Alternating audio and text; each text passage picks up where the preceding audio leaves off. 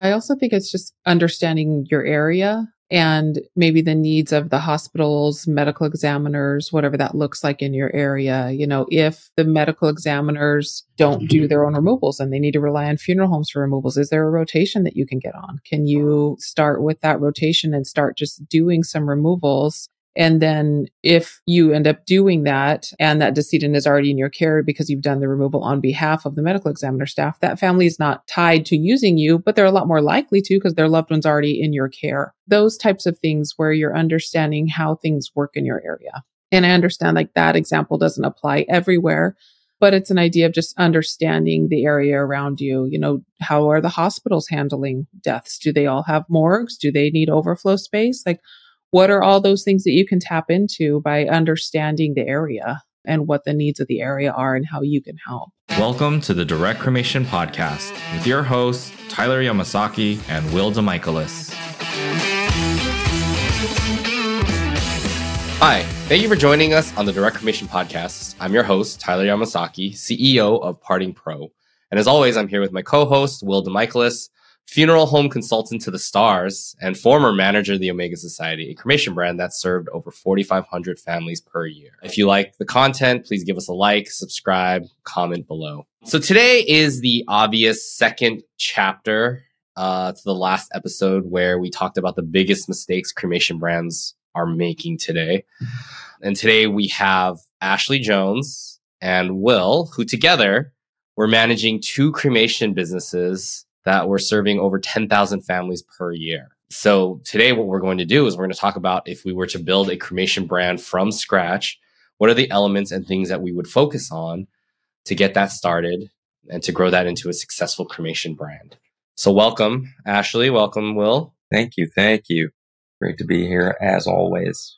Yeah. And nice to meet you, Ashley. I don't think we've ever spoken formally, but I've heard a lot about you. Awesome. Yeah. Great to meet you too. Yeah, at one time, I think you guys were both managing probably two of the top five largest cremation brands in the, the United States, which would probably be close to the world. So you guys were doing quite a bit. So today, like I said, what we'll do today is we'll imagine that, you know, we had maybe some of the resources, we had access to a funeral license and a crematory, and we needed to now create Cremation Society ABC from scratch? Where would we start?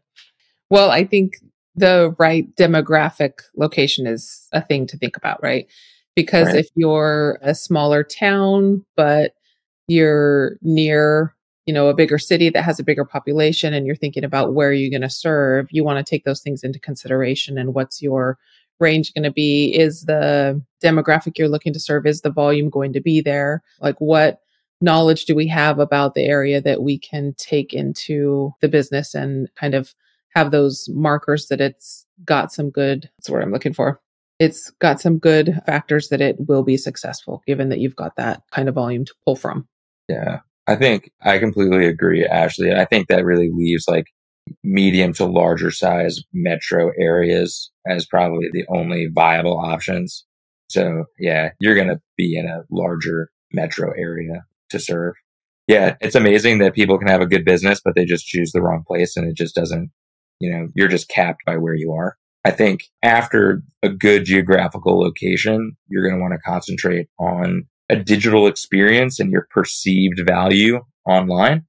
Mm-hmm. So that's a lot of a great digital experience, which means good graphics on your website, easy to navigate website, an online arranger where everyone can price out all of your services without the help of a phone call if needed. Well, I guess it should be possible and seamless without a phone call. And you can be available for phone calls if needed. But for everything to make sense to an 80 year old that's never visited your website, if they can get through an online arrangement and do it with relative ease, then I think that's a great barometer of a good digital experience. Yeah. Maybe not 80, maybe a little younger, but yeah. I would agree with you, but I, I would say that it would start even earlier, right? We would have okay. to go and make sure that our Google listing page looks good. Yes. Before they yeah. even make it to your website, you want to make sure that if you are going to do Facebook or any of those, that you have a presence that you've Mhm. created those and taken ownership of all those accounts, whether it's Yelp. Because basically, if you don't put that stuff out there, someone Mhm. else can come in and create a Yelp page for you. And most of the Right. time, people putting information online, they're not going to do it because they're super happy. Right. So if you can Right. control that narrative, put that out there, claim or create your Google business page, claim or create your Facebook page your Yelp page, become the owner of all those, put the messaging that you want to put out there, make it so that it looks like that you are a business, you're a person, make sure that you look like you've been in business or at least know what you're doing so that if someone does find you in any of these channels, they get the same consistent feeling from you, that trustworthy feeling. I think that's where it starts. Yeah, that's a good call, Tyler. Yeah, that's a really good point. I think it's also understanding what your competitor's digital presence is and seeing, you know, if there are obvious gaps that you can fill or where you can stand out, especially if you're in those larger metro areas, there's bound to be multiple competitors. And so it's, I think, finding your kind of niche in that area and trying to excel and looking at it as a total experience from start to finish rather than segmented and well my website's great but if you don't have all of the other things like you were mentioning Tyler like the Yelp page like the Google page it's not truly an experience because that customer gets to your website. Maybe they even do an arrangement but you're lacking the follow-up review which again just turns it leads to the whole experience because that's going to help you get the next customer. You just have to look at the whole cycle of the experience versus can they do like an online arrangement? Do I have a website? It's really putting the customer first and putting the customer experience first. I think a lot of times, and I'm guilty of this too, I've developed something as a funeral director and without knowing it, I created a process or used language that is more industry jargon, which didn't have the customer in mind and kind of having the presence of mind to maybe enlist help of someone of a Mm-hmm. potential customer to really understand how they read the words on a page or how they navigate things on your your business page or if things don't match on your Yelp and Facebook page what does that tell them or do they say hey I'm not sure that this is legit and then they're done interacting with you overall Mhm. and in that case you've shot yourself in the foot a great digital experience from the customer's point of view not from your business point of view I think is huge Mhm. really trying to get in the mind of a customer and how they make decisions and what language is clearest to them that makes them actually finish an online arrangement rather than get 80% through and not finish. That happens more often than not is people don't finish those online arrangements and you want to bring them into the process to help yourself really find the path of least resistance to completion for your customers. I think that's a good distinction to make because I think when we get, especially when we're working in the industry and you're talking to your coworkers all day about things or other people that are in the field, we use these kind of terms and like witness cremation is a good example of that. If you put a question in your online arranger as would you like a witness cremation? Not everybody necessarily knows what that means. And that can lead to a whole lot of like maybe images about what you think that is as the consumer. And if you've never heard of that before and it's not something, you know, in your culture or that you've done, just phrasing that a different way is still giving the customer the knowledge of the question that you're asking, but just phrasing it in non funeral speak goes a long way. It leads to Right.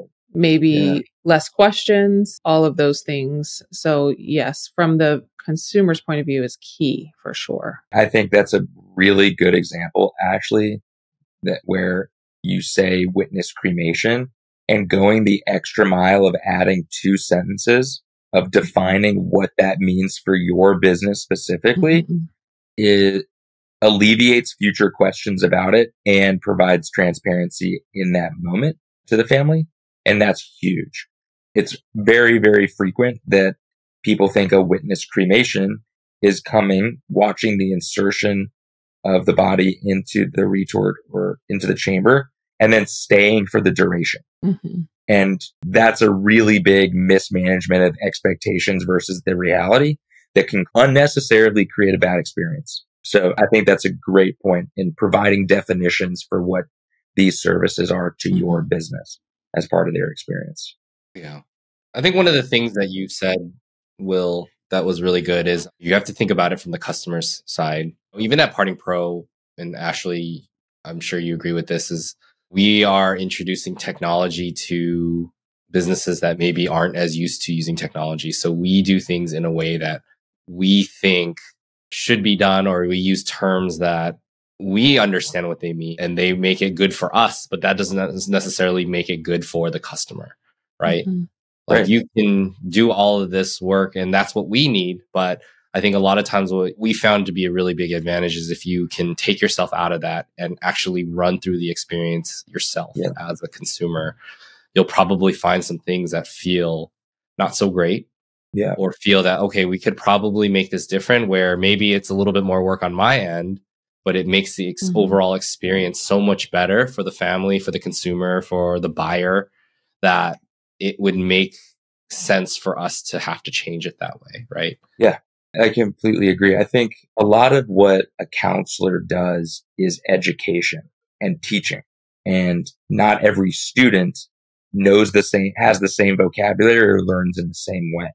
So as a director or arrangement counselor, it's up to you to find the best words to communicate what things mean and where their expectations should be, especially high volumes and you're helping, you know, three or 4 mm-hmm. different families a day.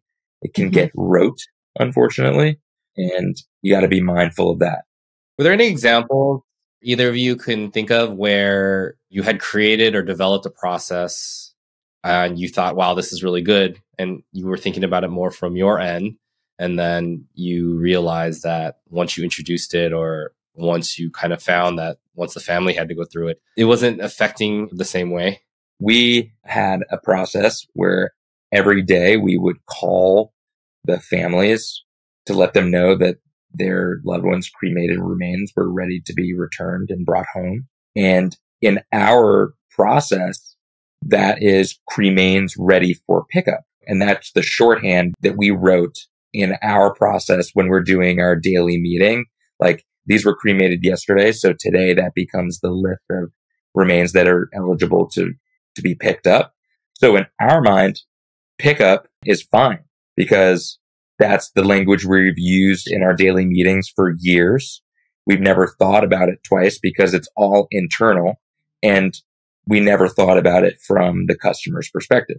But when we call those families and we use that same language, they may say, because it's our fault. I'm not picking up a UPS package. It's my dad. Mm-hmm. So mm-hmm. that's something where, oh, we were thinking about our internal jargon that we used regularly.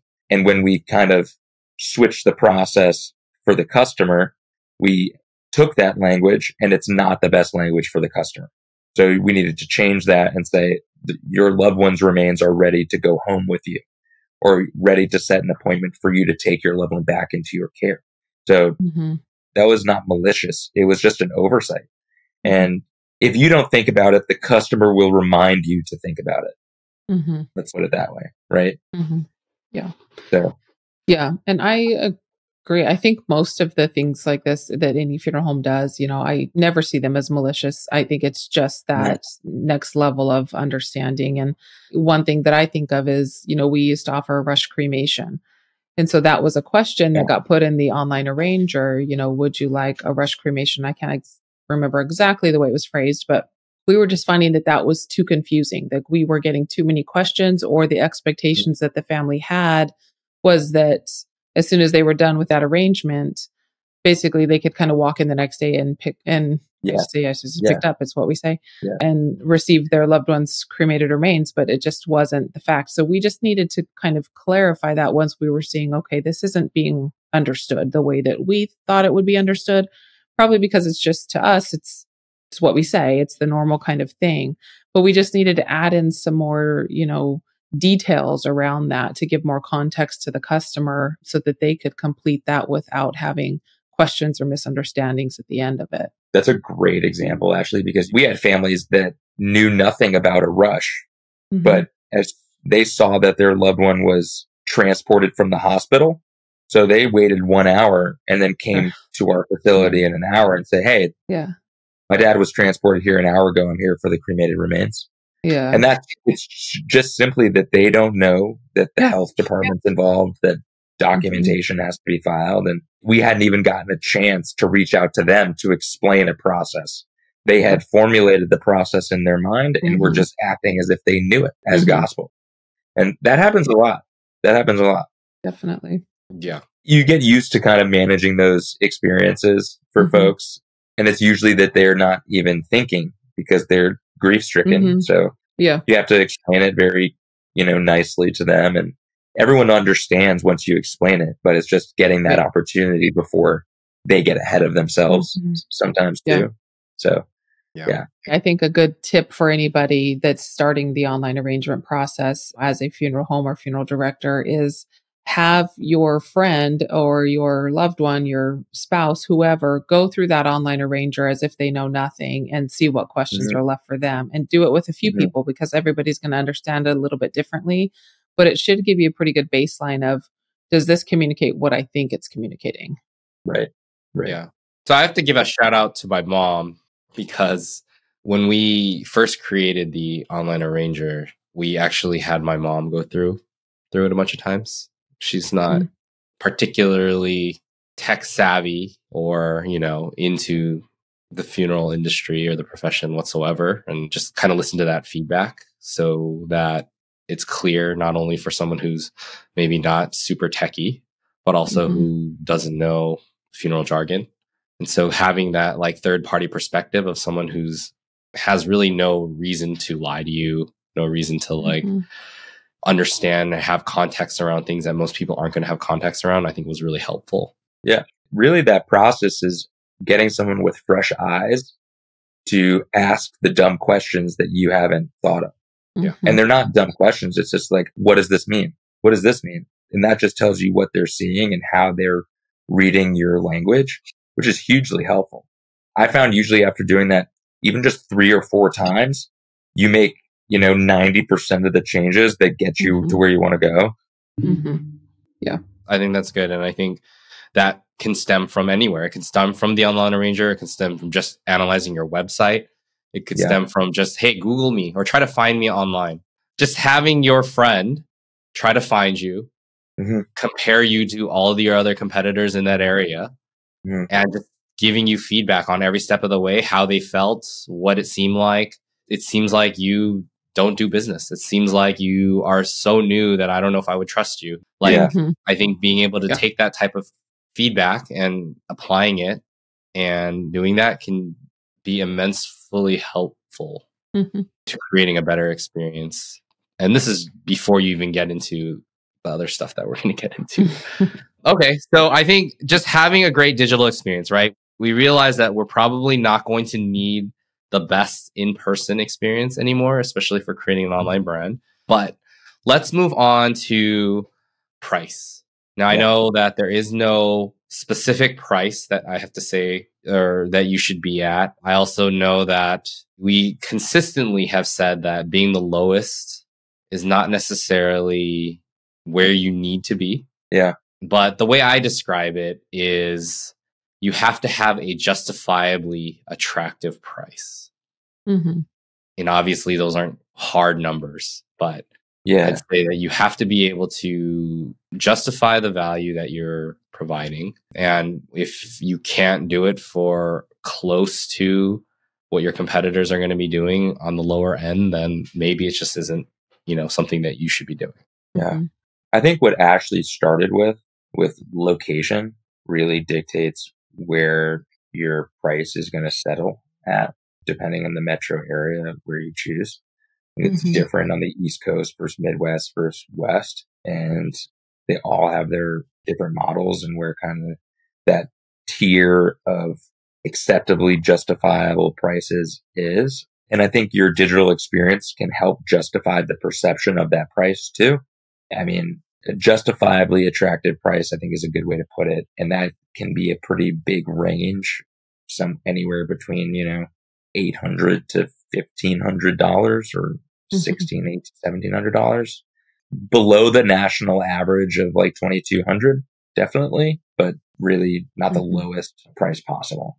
Um, I'd say as a general rule of thumb, under 15%, uh, if you were to rank all the direct cremations like in your area, you want to be in the bottom 15% of price. yeah, that'd be a good way to figure it out. Obviously, that can change and range from different locales. One thing that I, I do want to mention, though, as we talk about demographic, and what we've seen is that even Omega Society at your peak and Crown at your peaks, you guys were probably the majority brands in your areas, but there were still a ton of other cases that were going to other people, right? Mhm. And I think what we see is that a lot of people see a lot of competition and they think, oh, you know, I can't compete here or there's already too many competitors. But the reason that there is is because there are so many deaths in that area. Like Los Angeles, Mhm. for example, the Los Angeles County and Orange County, which kind of all serve the same market, there's so many cases going around that you can Yeah. be a negligible percentage of that market Mhm. share and still do 10, 20, 30, 40 cases a month. Yeah. And that's a good business as someone who's just doing it as your own business, Mhm. right? Maybe Yeah. on the maybe on the whole spectrum of market share, you're not you're just a small blip on that, but that's still a, a considerable amount of people in an area that can support that. Yeah. Yeah. There are uh, only a few areas in the U.S. that have that luxury, and Yeah. Southern Mhm. California is definitely one of them. California in general Yeah. is one of them. Yeah. I mean California, Florida, Yeah. I think Washington is a big one too. Yeah. Texas, like a lot Yeah, of these, or if you're just around a major city, Yeah. you know, any of the major cities that have two, three, four, five hundred thousand plus people in that area, you're going to be able to do it. Otherwise, Mhm. I think what you have to do is you have to serve like a very wide range of people, right? So you have to serve like the entire state, which Mhm. then cuts into, you know, all kinds of other things. It's a more of a logistical thing that you have to figure out, but that's kind of what you're going to be looking at. Yeah. And I think it just also just depends on the goal of the company, right? If it's, you know, one person trying to start up a business and their goal is to be able to sustain that business to support themselves and that's a different goal than starting a side brand of a traditional funeral home where you've got a massive staff that you have to consider and support and do all those things. So the pull is different, right? It's like what do you reasonably need to sustain and that's going to also dictate your price. I agree that it doesn't have to be the lowest for sure. I just think it needs to be in a ballpark where people will consider you, right? Because if people are shopping online and they can see two or three prices from 895 to 1295 and you're at 2295 well they're probably not going to call you. They've got four other options that are far less than you that they could consider and all those things that you just said if you're in a bigger city there's not really a reason to at that point. You've got multiple options. So i think it's just understanding what the goal is are you trying to become the biggest provider in that area or are you trying to you know have a reasonable amount of business to sustain a career so Okay. So let's see. Okay. So let's go through it so far. We've solidified our online presence. You know, we went to everywhere we could go and made our profiles, taken nice pictures and gotten our messaging down. We made our new website. We have an online arranger. We did all that. We've created our pricing to be competitive, but also at a price that we can justify the value. So now we got to kind of create the standard operating procedures to make it so that we can justify that low cost price. So where do we start in creating this efficient business model? Yeah. So So I guess like let's start here. I think that one you have to have a growth plan. right. And the growth plan has to involve basically, you know, if you think about it, when we talk about funnels and sales funnels and stuff like that, you have to have phone calls. You have to have website visitors. You have to start generating that. If you don't already have some type of, you know, we do have customers that sometimes start a side online brand. The only reason they're doing that is because they have so many price shoppers to their full service, expensive brand and they're losing those to competitors. So now they have this way of getting calls and then now maybe converting those people who would have gone to a competitor to themselves, right? And they have an option Yeah.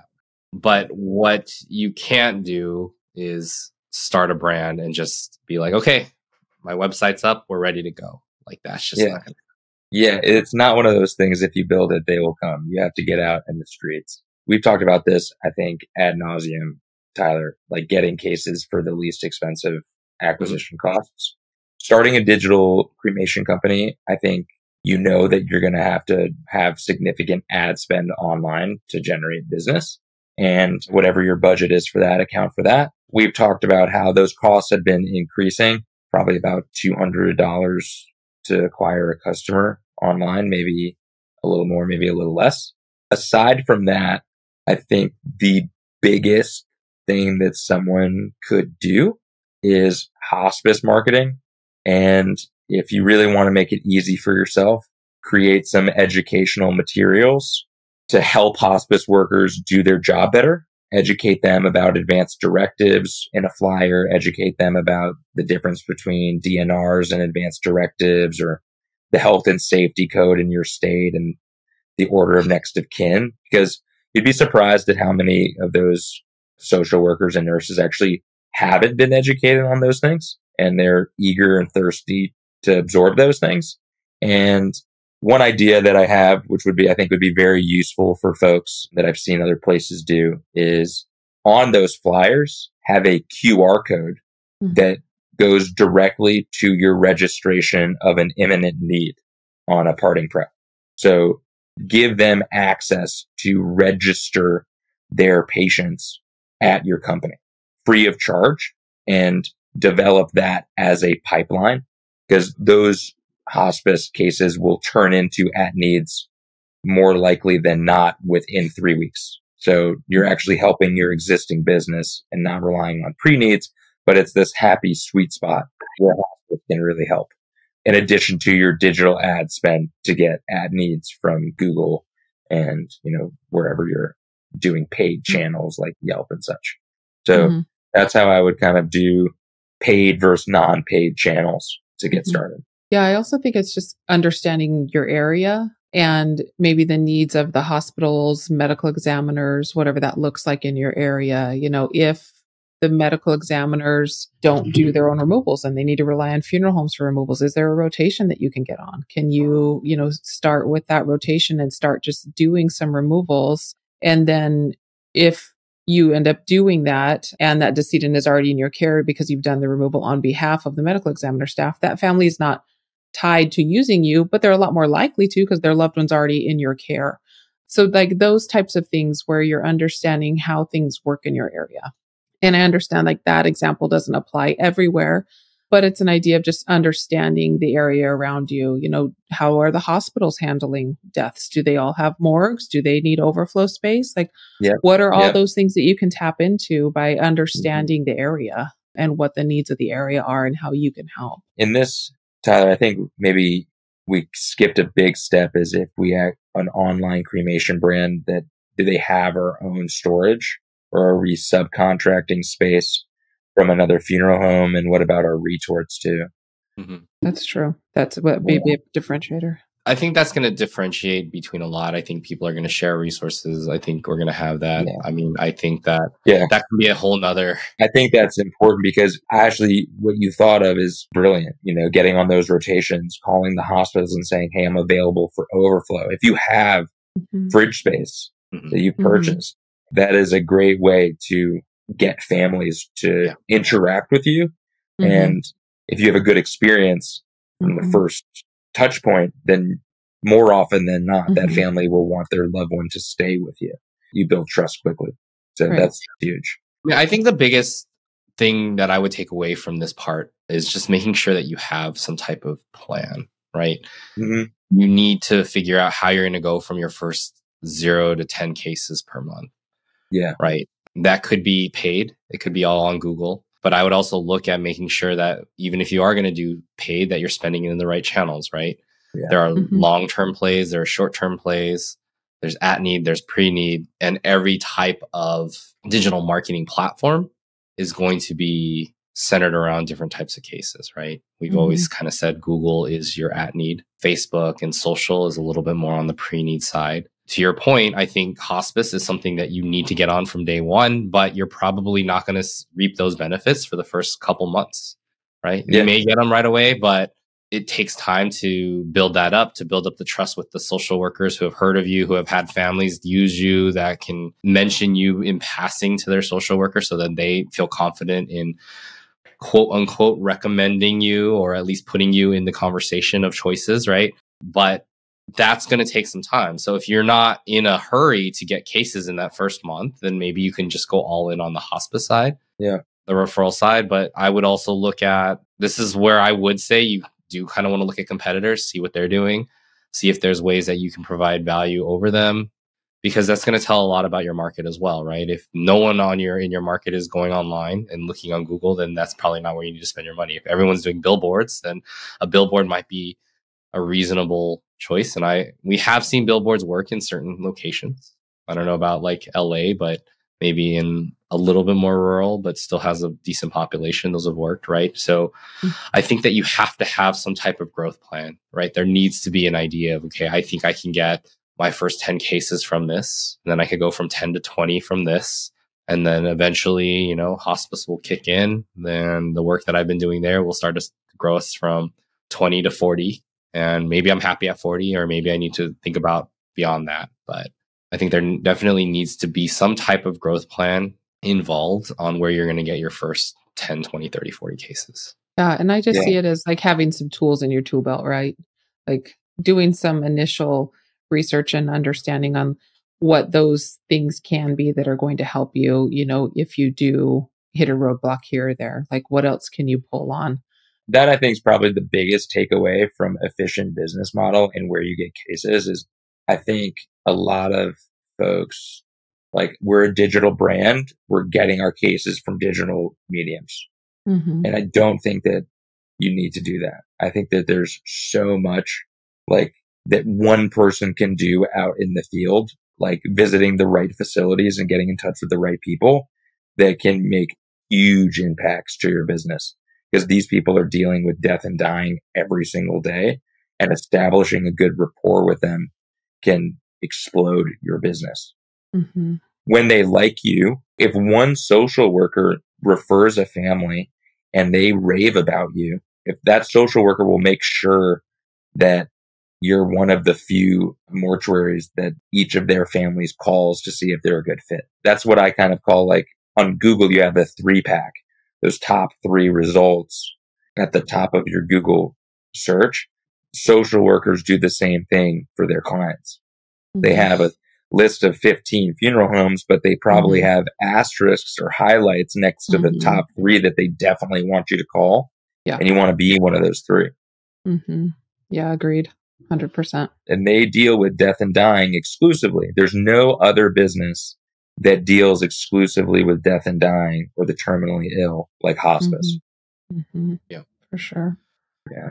Okay. So I think depending on your location, depending on your market, you're going to have different channels. Me mm-hmm. personally, I would start with probably PPC, which is Google, build up my cases, get there, get some word of mouth, get some reviews, and then that will kind of snowball into being able to do some more of the other stuff, word of mouth. My local SEO will grow, stuff like that. Okay. So now let's move into the actual business itself. We've now figured out a way to get phone calls. Our phone is starting to ring. Mm-hmm. What now? What is the next step in something that we have to make sure that we're doing correctly to make sure that our business is going to succeed? Answer every phone call. Don't let it go to voicemail. I think this is where something that Will that you said earlier, having that like family at the center of the mind at all times, that it's they're going through an experience, they have a question.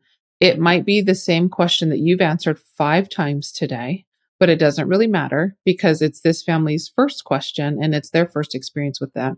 So I think you need staff that can really grasp onto that and answer those questions kindly, give them guidance, and really keep that at the front of their mind because especially when you are doing high volume things can get a little rote it can get a little routine it can get i'm answering the same thing. My tone of voice is saying the same.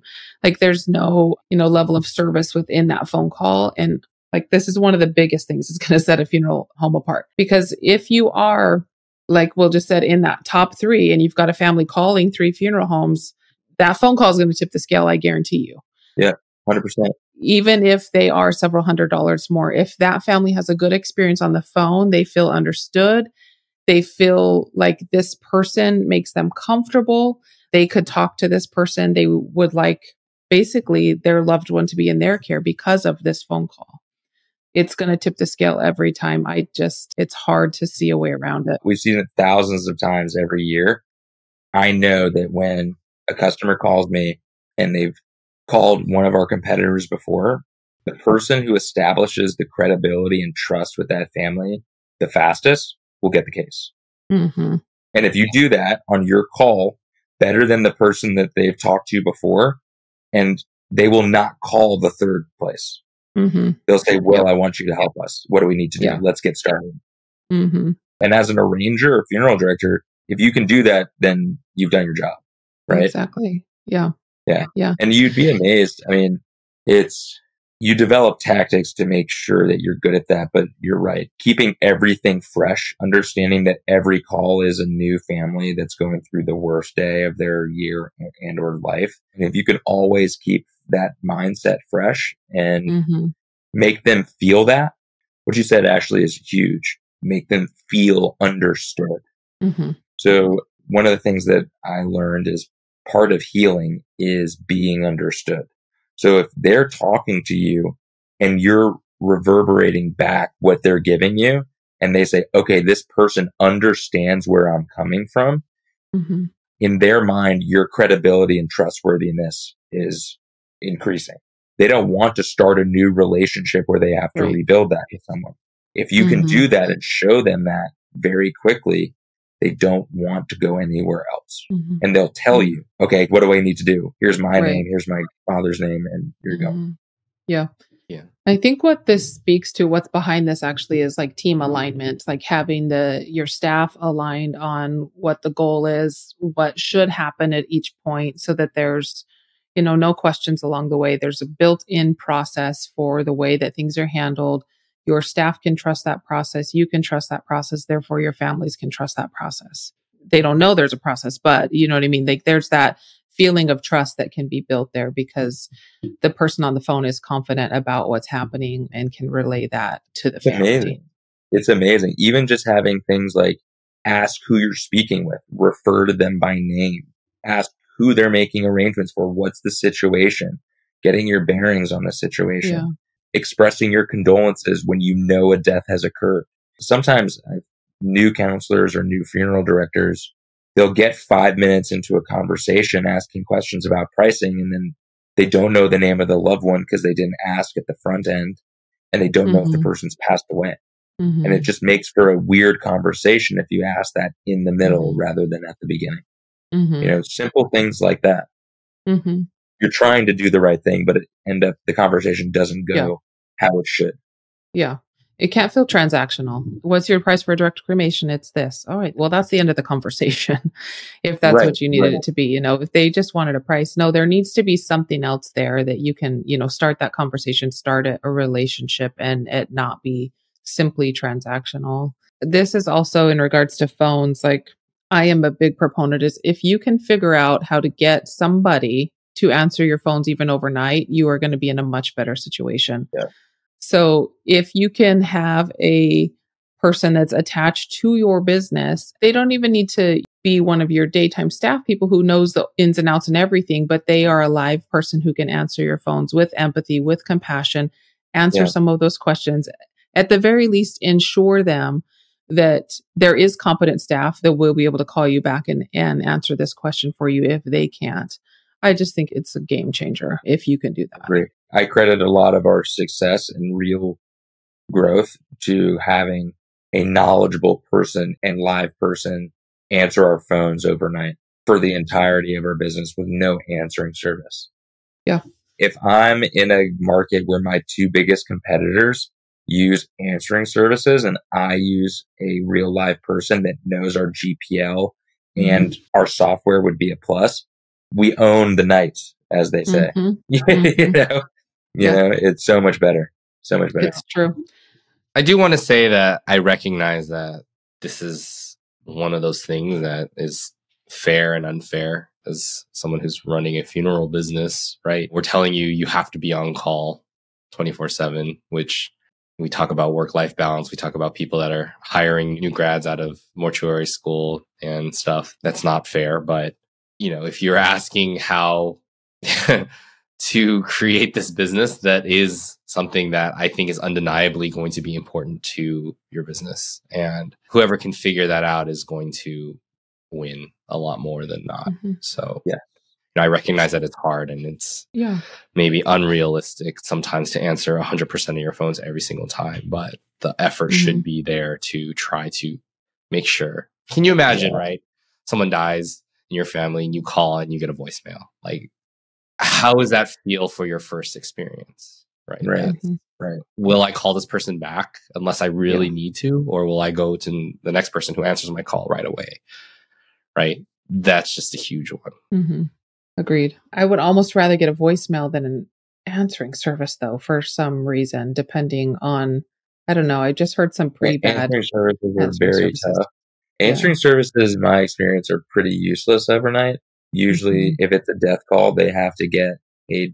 They're taking a voicemail and texting a Mhm. director a lot of the time anyway, and they're just a Mhm. middleman. Yeah. And if they're not doing that, they're telling people to call back in the morning anyway. Unfortunately, it's not that useful of a service, in my opinion. Mhm. Yeah.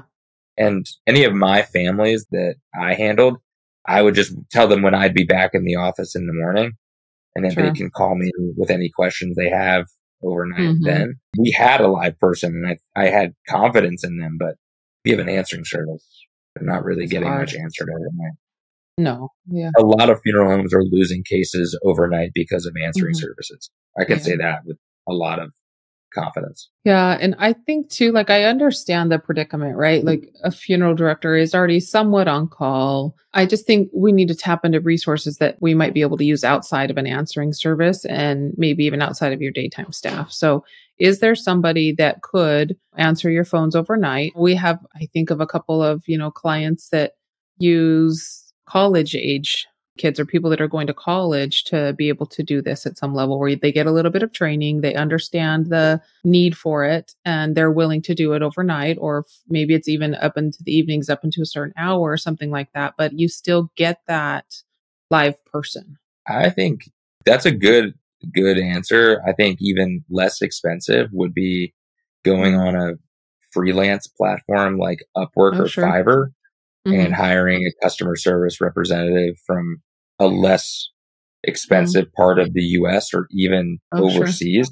And they'll do calls much less expensively than even the most least expensive American worker. They might even have a college degree or a master's degree in the Philippines and with no accent. I mean, it's a lot of other industries use customer support internationally and it hasn't come to this industry, but I think it's worth suggesting. to bring it back, I think that the reason that we are stressing so much on having to answer the phone is because we want to create an efficient business, right? And efficiency means that for every 100 phone calls we get, right? Every time the phone rings 100 times from, let's say, a price shopper or someone asking about information, we want to quote unquote convert those Mhm. calls as many as possible into business, right? So if we can change that from 10 out of that 100 to 20 out of the 100, how much more money is that? How many more cases is that, right? And so when we think about an efficient business model, yeah, we want to think about marketing and efficiency, but we want to think about conversions as efficiency. We want to think about staff time as efficiencies, right? So there's a lot of things that we talk about, not because it just feels better, but because when you're dealing with higher volume numbers, you know, small percentages like that make a huge difference, right? And so it is a crazy expense that you're going to have to have someone on the phone overnight. But the reason is because if you're able to convert more of those cases that you get overnight to real cases that should pay for itself, right? Assuming mm-hmm. that you have an efficient business model. I think it's something that every business should strive for because I think deep down they know it's the right answer. Yeah. I mean, if you're not there yet, make that your next goal Yeah. if it's something that you can do.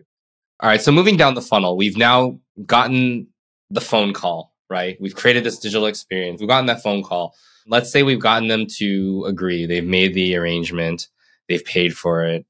Now it's time to create actual efficiencies within our business, right? Internally. There are certain things that we do a lot differently from an online or just a cremation brand business than you do for a full service business, right?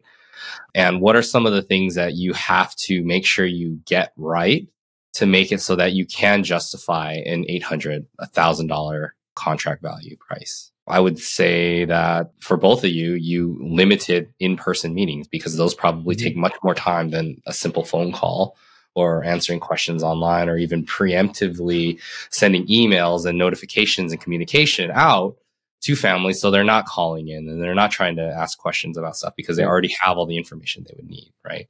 Mm-hmm. So, Will, where would you say you would start when it comes to changing the mindset from a full service type of arrangement to a more efficient, thinking about man hours, right? Staff hours, overhead? Yeah, I think efficient paperwork processing is really big.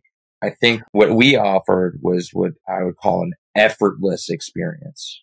So when you deal with us, you're going to get the care that you need from my tone of voice when we're on the phone and all of the formalities of the paperwork are going to be seamless. You're going to be able to do it online.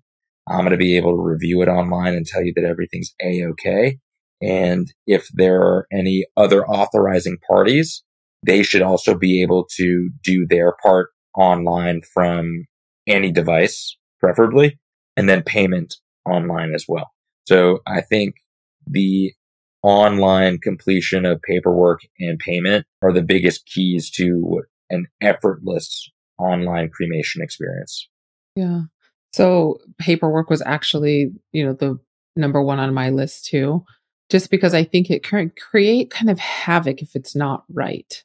If yeah. it's confusing, it just leads to way more interactions back and forth with that family, way more likelihood of frustrations on both parties' ends, right? Yours and the families.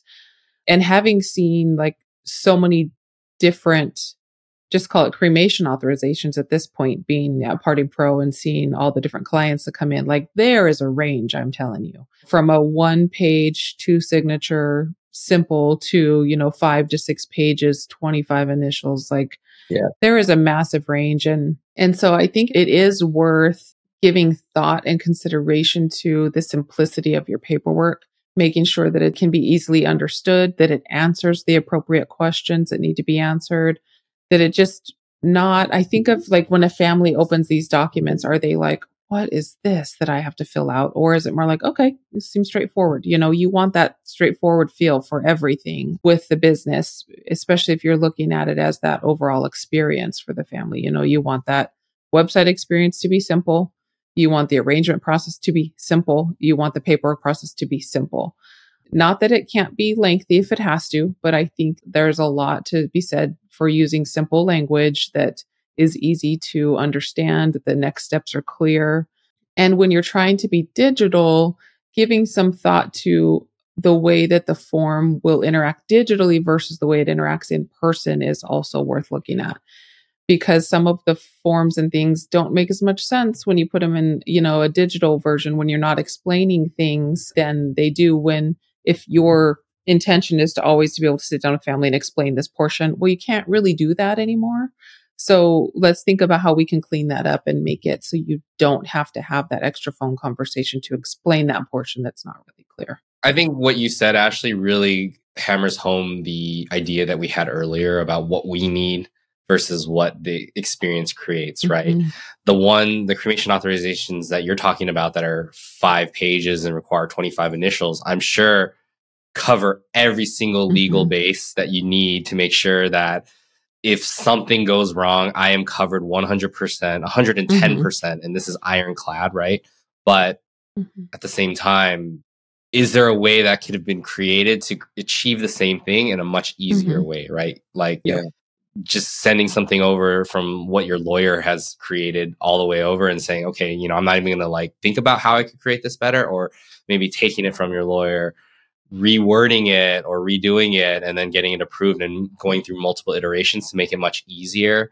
I think there are many advantages to making that easier. And I think on your end too, as someone who's getting that paperwork signed, not having to go through a, I can guarantee you the people that only have to sign two places versus the people that have to sign 25, that's going to generate more phone calls.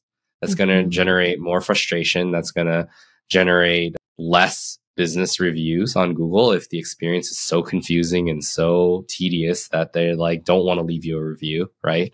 So Yeah. I think that there are benefits to that that maybe aren't initially seen. hmm Because Yeah. I can immediately understand the argument where a funeral home could say the family's interacting with it once, you know, it's done. But I think it does lead to the less questions back and forth, less mm-hmm. explaining that your staff has to do, less phone calls, just less confusion overall. And I think that's the key.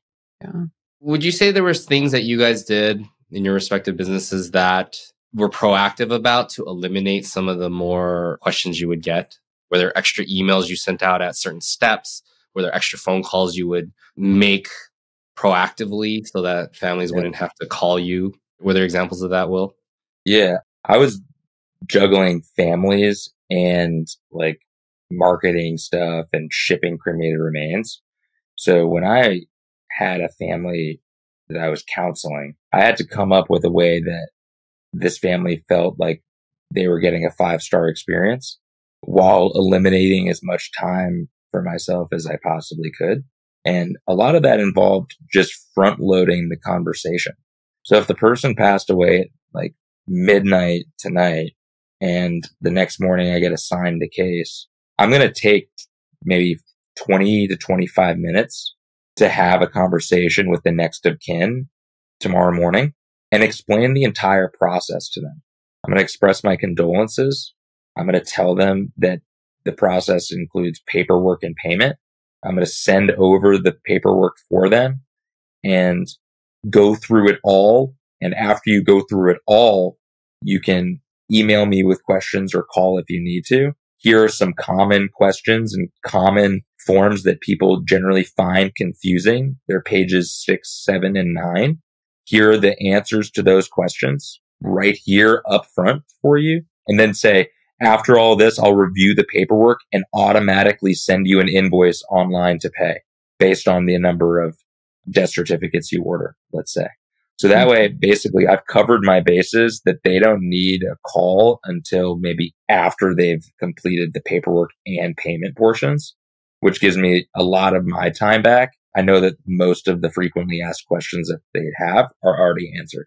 So Mhm. I do that in a very kind way, give that extra time and extra minutes on the phone, not in person on the front end. And I'm always happy to do that over the phone on the front end because they're not coming in, Mhm. right? So I don't mind giving, you know, an extra 15 minutes on the phone if it saves me an hour long in person arrangement. hmm Yeah, makes sense. I think for another one that I could think of too is when people are pre planning or they've come in and taken care of an at need arrangement, but the removal hasn't been done yet. I think it's always good practice that once that removal is complete, you reach out to the family to let them know that the removal has been complete, your loved one's now in our care, just to continue to build that continuity and just so they feel like they are kind of in the loop with the process too. And they've not just Yeah. signed this documents and they're going to hear from you when that cremation is done. And some families will want that and that's okay. But I think just building in those little communication points. We also did that once a family finished their online arrangement and their paperwork. It was just a call to say, we've received this. These are the next steps. This is when you can expect to hear from us next. Clarify any questions that they had, clarify anything we needed to clarify and just have that touch point. So again, they're kind of in the loop. And so I think those are good ones to think about too. But yeah, you're right. Being able to spend a little bit of time on the phone, having the family kind of understand the process, it pays off.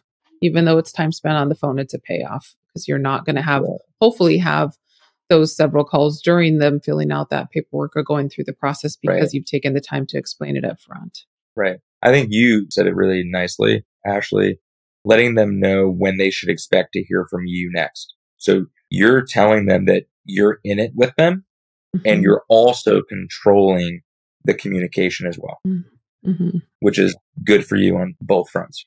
Yeah. Yeah. I think setting proper expectations is really Right. important, right? Right. It reduces questions, it reduces back and forth, and Mhm. it will save you time, it will save frustration. It'll just make a better experience overall. I hate to minimize this to ordering something online, but when you know exactly what day it's going to be, when you know the process in which you're at, you know where it is, you know, you see that it's making progress, you don't really have questions, right? Mhm. But if it's something where it's just like, I order something and it's just going to show up when it shows up, I don't have any idea when it's going to happen. There's always a little bit of question. There's always a little bit of frustration there. And I don't think in, in an, an heightened emotional experience, I'm sure that's going to be tenfold, right? 20fold, Mhm. Hundredfold, right? So I think setting proper expectations is something that you really have to do. And it's going to eliminate a ton of back and forth. And it's going to just give everyone the proper expectations so everyone's on the same page. Yeah. I think of it too as, you know, a funeral director. Your job is to direct funerals or those, you know, arrangements around funerals. That's kind of what the word means. And when you're literally in person directing a funeral, you are the person that people are looking at for their guidance on where they're going to go. If you're talking, you know, traditional services, at what point is the casket moving? At what point are we going to the cemetery? Like you are directing all of those things. And that's the expectation. The family is looking to you for that direction because they haven't been in that scenario before and they want that direction. It's the same idea with the digital arrangement. You are still directing the arrangement and you need to to make it an experience versus I now have an online arranger. My families are going to do it. Cremation's going to be done. It's a more proactive piece. You still have to feel like you're directing the arrangement. And the family, I think, wants that as well for most part. They want to know that somebody's in charge.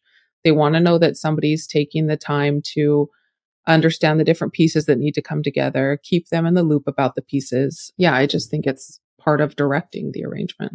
Yeah. And so I think creating an efficient business model from beginning to end, an efficient mm-hmm. process is, is important. But I think that when we think about it, and this is what I'm always going to say is the most important because all the other stuff kind of falls in line if you are in this, but it's really just having like the all in mindset that you want to build an online Yeah. affordable cremation. Yeah. That's a good point. Well, I had a consulting client that has an existing funeral home and then is starting a cremation brand. And one of the things that I noticed is it's extremely difficult to have an existing funeral home brand and be all in on a online cremation brand.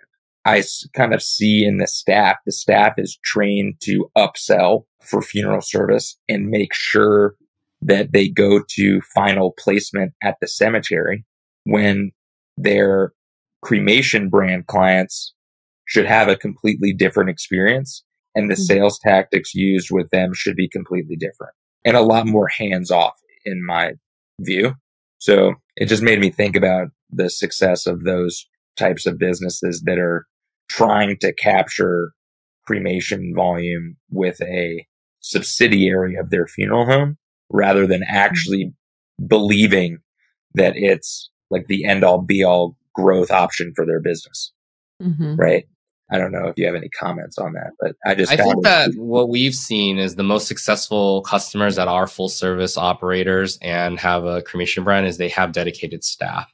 Yeah. That are Yeah, usually have to have- dedicated to the online brand versus the, you know, obviously they'll help out, they'll make adjustments when needed, but for the most part, this manager is managing this brand. This manager is managing that brand. They obviously share resources. They share the Mhm. crematory. They share stuff like that. But for the most part, there is a way to do business and a manager here, and there's a way to do business and a manager here, right? Mm-hmm. And I think that's what we've seen be successful when you have the types where it's, you know, oh, we have this brand, but it's the same exact people. It just doesn't Right. work. yeah, yeah, Yeah. If I were to start a cremation brand, I think that my mantra would be basically that I want as many direct cremation families as I can sustainably handle at the price I've Yep. advertised, right? I Right. want as many, like I want unlimited. yeah. Yeah. At five star.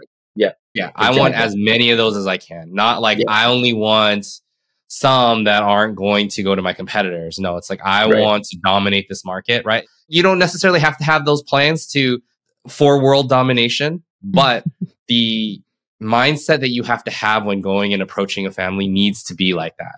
I Mm-hmm. want this family and I'm okay and I'm happy, more than Yes. happy to serve them at the price that I've advertised. Mm-hmm. I don't feel like I'm missing out on something if I don't upsell them onto witness and a, a burial or whatever. Like I have to be happy with what the service I'm providing is, and I just want as many of those as possible. If I get a thousand of them tomorrow and I can actually serve that 1000 i Mm-hmm. I'm more than happy with that, right? Yeah. I think Mhm. all too often we see the defensive mode of like, I don't want my competitors to have this. We're losing them to our Yeah. competitors. So I'm going to start this brand to combat that. But it's really at the detriment to the team that's trying to execute this on your behalf. It's like you're pulling that your brands are talking out of different sides of the same mouth. And the Mhm. people meant to actually serve these families like are confused about what tactics they should use because you're double dipping.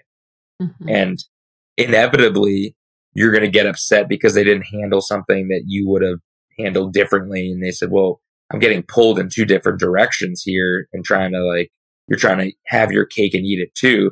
So Mhm. Tyler, what you said is know who you're serving and know who you're not serving and make sure that that's clear to your team. They're going all in on what you do do and that you're out of what you don't do. Mhm. That's it. Right. For sure. We're going to be five star experiences for direct cremation families is what we do. Then that's what you do. Mhm. I have a question for you, Will and, and Ashley. When you guys were at your cremation brands, was it ever a push to try to include more and more services every time, or was it more about refining what you had? It's interesting because I'd say my goal was to re- mitigate services and COVID actually helped me accomplish that. And COVID forcing us into that paradigm shift, it actually proved my thesis that I had prior to COVID, which was you'd get the same or more families at the same level of experience, five star experience with a narrower service focus. I think I was always fighting against my team members who were like, Hey, I had a family that wanted a lock of hair. They wanted handprints in clay or thumbprints on this. And they want to do whatever the family wants them to do, which is not what I, as a business person, really want to do at all. So it's kind of a push and pull between like, what should you be adding and how do you actually create a scorecard around what gets put into that Overton window of what you serve and what you don't serve. I would have preferred to minimize products and services even more than we did. And some people would say that that's wrong or bad for families. But I would just respond by saying, I choose how we serve families. And if families don't respond to that, then I'll fail as a business. Mm-hmm. Gotcha. Yeah, for me, it was more so we were still a full service funeral home, even though mm-hmm. primarily we did direct cremations, we were still full service. Same. So we Same. were still, you know, doing traditional funerals here and there. We were still doing, you know, a good number of graveside funerals. Yeah. However, what we started to see was that our staff got really, really good at direct cremations because that we were doing primarily. And with newer graduates from the program never having done a traditional funeral, it got more and more challenging to actually have staff have that know how and have the right skills to do that because we didn't do them frequently enough where it was our main business. So we weren't able to, you know, train them on a whole lot of traditional funerals. So we did get to the point where it was like, we're going to need to segment things. We're going to have to have staff that really does cremations. And then we're going to have to have some staff that's going to meet with our traditional clients. So it does become a challenge at some point. I also am with Will. I don't know that had we said, you know what, we're only going to do cremations, that it like what impact that would have had. I think it would have helped the staff be a little bit more efficient because there's just kind of no question they can kind of hone in on that skill set even more so and not have to juggle, you know, a traditional funeral at the same time, which is just a different animal, so to speak. You know, there's way more details involved, way more touch points, churches to call, cemeteries to call, things to do. It's just, it requires far more attention than an online direct cremation case. So, yeah, I think that honing in on what you are going to offer is a great idea. And I don't Yeah. know that it has massive impact, or at least I don't think it would have at Crown. And sounds like Will doesn't think maybe it would have at Omega either. I think the all in mindset on what you offer and talking about it every day with your team will just build the culture you want to see out of your team. hmm And you're going to get the best out of them by just saying, Hey, this is what we do and explain to them why what you do is valuable. Like we Mhm. offer five star experiences with tremendous amount of empathy and compassion at $1,100.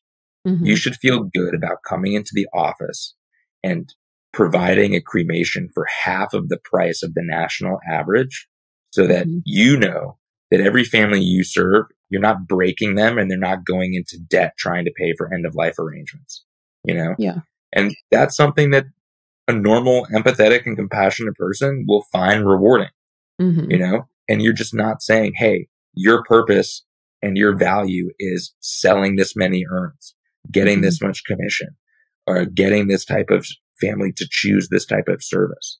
Communicate the value proposition and why what you're doing and what you're offering at that price is valuable to the people you're serving. And if it's valuable to 5,000 people, you know, that should tell you something about people's preferences, hmm right? Here's a few fun facts. This is a little off the path, but as we come to the end, thought there was some Sure. fun stuff in there. Tesla has what four models, I think now. Yeah. And that ugly truck that they are launching, but Launch. they sell 1.2 percent of all new cars Yeah. are Teslas now. Yeah. So I think if they had tried to come out with a full fleet of cars to compete with every single car manufacturer, they wouldn't be able to do it, right? But they've been able to reduce their offerings Mhm. and really focus on what they do and get the costs down so that you're able to get an electric car for much cheaper than you would have been able to, right? Had they had a full fleet. Even further to your point, Tyler, they've done it without putting a single commercial on TV. Yeah. Also, here's another one In and Out. You guys like In and Out? Yes. They sell over $500 million in burgers and fries every year. They have like three items on their menu. So they have burgers, they have fries, and they have shakes, right? Like those are the only three things they do. They do it really well. I think that we come sometimes with the fear that if we specialize too much, we're missing out. But if you're able to really provide value to those that I think the stat now is like 30% of all deaths are direct cremations now or something like that. It's growing. I think that specializing is not necessarily a bad thing or something that you need to be scared of. It's just you need to make sure that whatever you do, you do it really well. Right. Mhm. And Right. that there can be success found, making sure that you do what you do really well and being happy with the result of that. One of the things that I think if you're a direct cremation brand, you know, you're trying to do everything online and the minimal amount in person, which is good. If there's one thing that I think a lot of folks can spend the time on and really make a valuable experience for folks is the process of getting remains returned to the family. That in-person process as a capstone to their entire experience. If they're coming to your office to retrieve the urn, there are ways to make them feel special in that 15 minute or 20 minute process that really is like a cherry on top of that whole thing that gives them that personal connection as a final piece de resistance to the whole thing. And so you can think deeply about that in your respective business. And I think there's, there's a lot of things to do there. So I think again, it's like not making it so transactional. I think that speaks to that. Right. Just a little touch here, there goes a long way. I think. Exactly. Actually, I can tell just if you give that any process just a little bit of thought, Mhm. usually within about 10 to 20 minutes of brainstorming, you can come up Mhm. with some really good ideas of just Mhm. setting that value so Mhm. much higher than what it currently is. A lot of the time, folks don't even do that, unfortunately. No. But those Yeah. are the things that get remembered, right? Those are the things that get put in a review. Those are the things that somebody tells somebody else that these are the reasons why that hospice company keeps coming back to you because they've had that personal experience and they feel good about that. So these are the things that end up setting people apart from their competitors along the way. Yeah. And I think that's why I think that the all in mindset is important here. Is Yeah. because as long as you have that mindset, you will iterate, you will make changes, you will look at it, you will try to improve your processes. Even if your Mhm. process is not as efficient, you're going to look for those processes because you're going to have that mindset to grow this brand, right? When this Mhm. brand is not forefront of your business and you're not looking to grow it and you're not focusing on it, it just gets put to the wayside.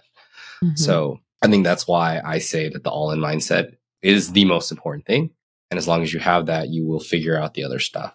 Mm-hmm. Cool. So, is there anything else that uh, you think we missed in starting a brand? Obviously, we talked very high level on a lot of these things, a lot of nuances and specific things I think will matter depending on your location and your brand and your clientele. But is there anything else that you think we missed, Will or Ashley? No, that's pretty pretty comprehensive. Mm-hmm. Yeah, not that comes to mind immediately, anyways. All right. Well, Ashley and Will, when are you going to start your own cremation brands? I'm just kidding. Thank you, everyone, for listening. As always, we appreciate you all. Thank you, Ashley and Will, for Oh, giving your insights. I think that if you were to follow most of these, you're going to be 50% good on your way to doing it. Obviously, there's going to be all that other stuff of actually doing the Mm-hmm. work itself. But I think these are good steps to make sure that you cover before you either start or even you can audit your current business and go through these. And I guarantee you, you'll find some places where you can improve on. Mm-hmm. So, yeah, thank you for the Direct Cremation Podcast. I'm Tyler Yamasaki with Will DeMichaelis and Ashley Jones. Thank you. Bye. Bye. Thank you so much for listening. If you've enjoyed this episode, please leave us a review on Spotify or Apple Podcasts. If you ever want to know more, please find us at directcremation.com.